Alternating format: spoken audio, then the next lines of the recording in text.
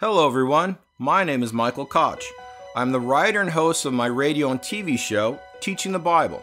My Bible teaching journey began right here in this school as I wrote a Bible summary to my 11 year old Sunday school students, which I still do.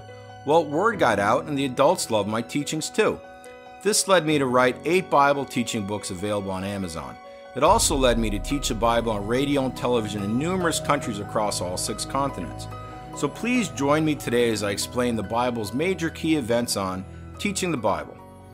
Hello, everyone. Welcome to Teaching the Bible. I'm your host, Michael Kotch, and I'm a Christian Bible teacher, author, and counselor from the United States. Teaching the Bible is a television video series that teaches a comprehensive overview